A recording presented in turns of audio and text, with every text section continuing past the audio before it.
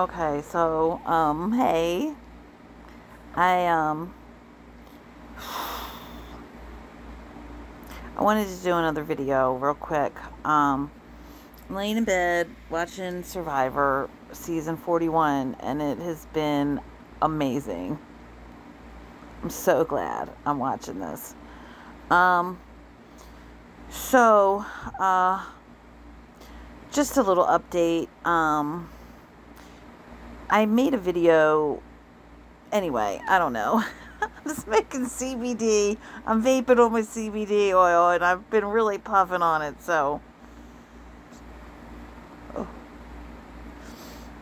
but okay, Survivor to me has shown me a lot of like the twin flame journey um, with a bunch of twists and turns and you think that something's going to happen and it totally is not.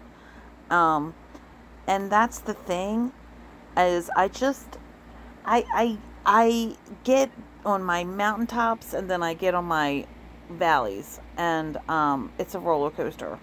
Just me in general is a roller coaster let alone the twin flame journey. Um,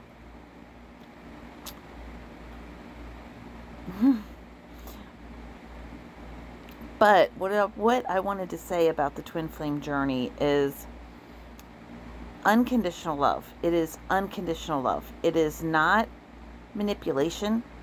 It is not codependency. Okay? It can only be unconditional love. It can only be unconditional love. It can only be unconditional love. Divine love. Okay? So it's not going to be like any relationship you have ever known. Okay? I that's huge. That's huge. You can not it is not predictable.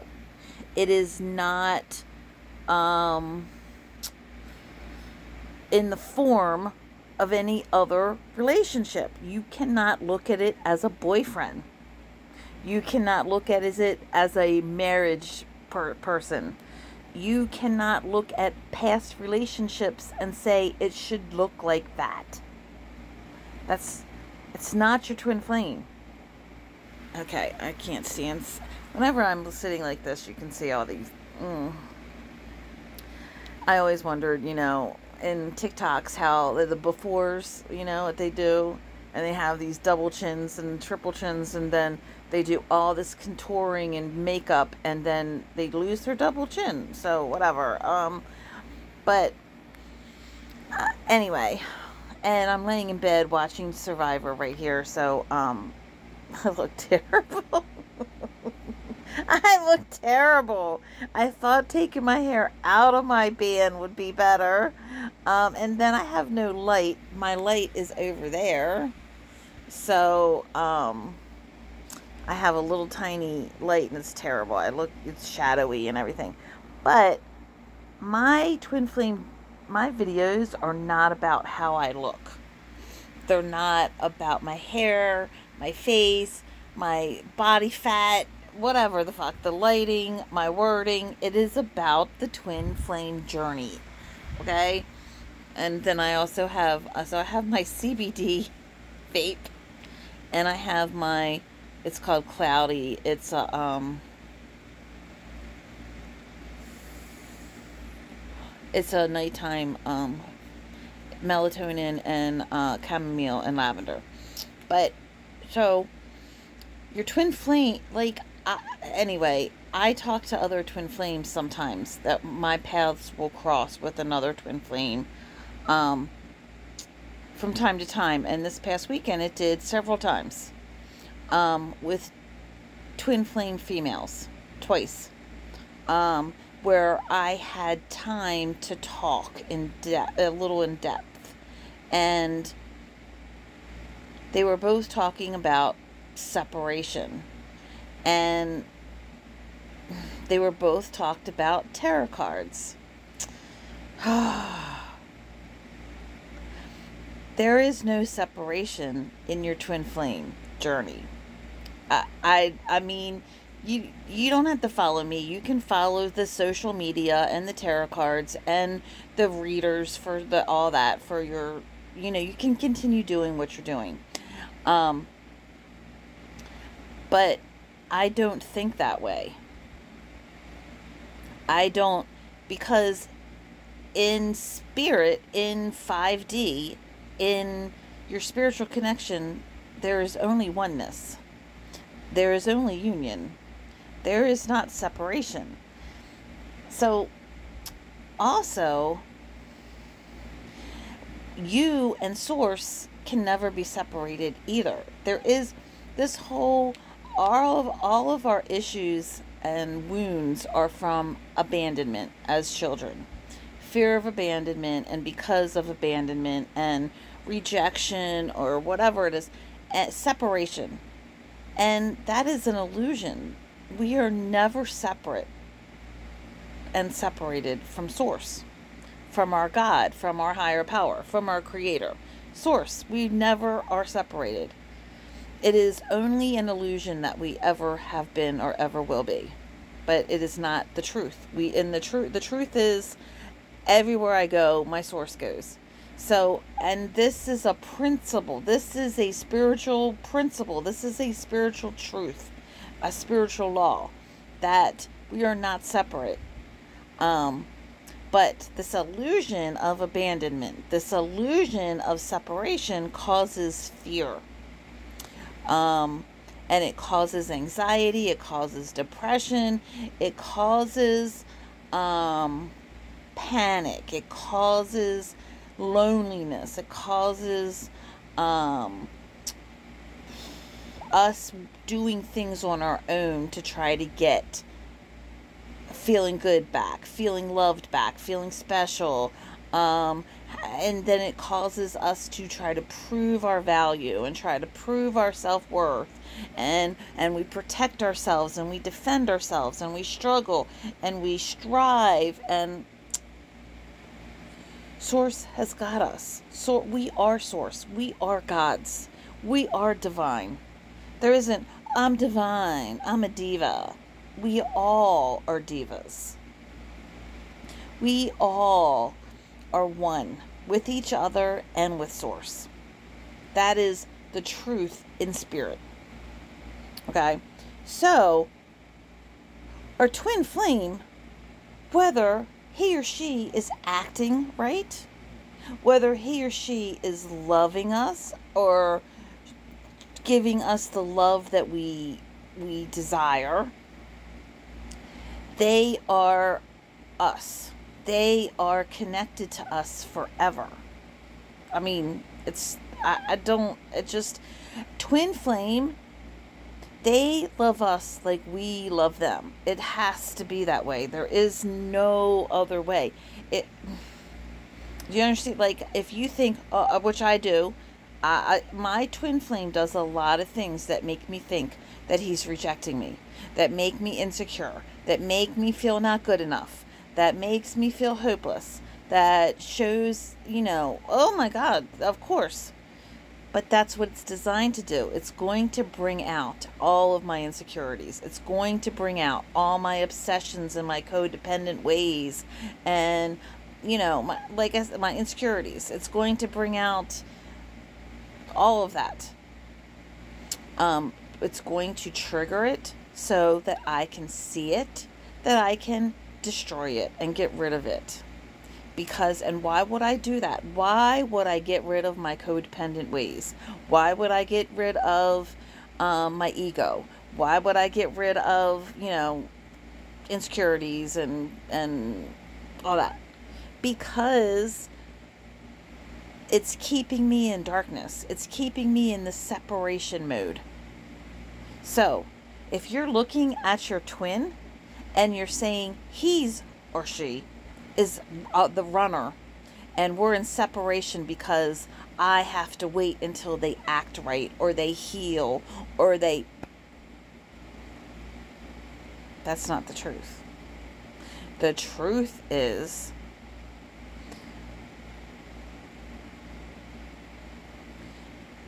there is no separation.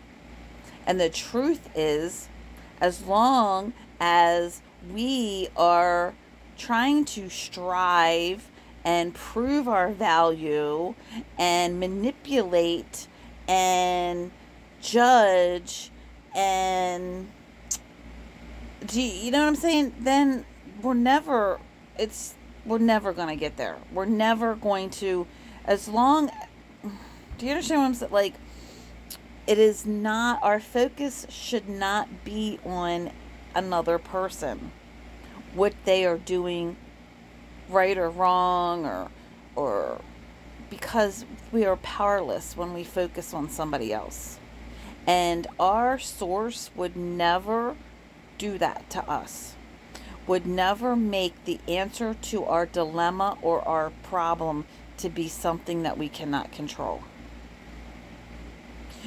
we are the problem and we are the solution. The solution is always within us. Everything we need is always in our power to have. It is never in another person. Everything. So, when you are confident and secure that you and your twin flame are together and in union and cannot be separated, and he he or she loves you with the divine unconditional love and that you are able to let go and trust the process and you are able to think of them and and interact with them with complete unconditional love and freedom with no expectations and no judgments and no manipulation and no force, then it can be natural. It can naturally unfold. And it can be divine and the bliss and the joy and the incredibleness that it was created to be. And it can be the most amazing tool for manifesting your desires and for healing you. And you cannot manifest all that you're created to have and to want and to desire and your purpose if you are wounded because you are the magnet. And if the magnet is cracked or broken or fucked up in some way, that's what you're manifesting. So the vessel or the magnet has to be whole, has to be healed, has to be complete so that you can manifest with ease and in a flow and and the best okay because you're the magnet you're the object not your twin flame so get your eyes off of your twin flame what he or she is doing and stop being critical stop being judgmental and just let go it is not about your ego ego will not get you in the twin flame journey. Mm-mm. You have to. It has to go.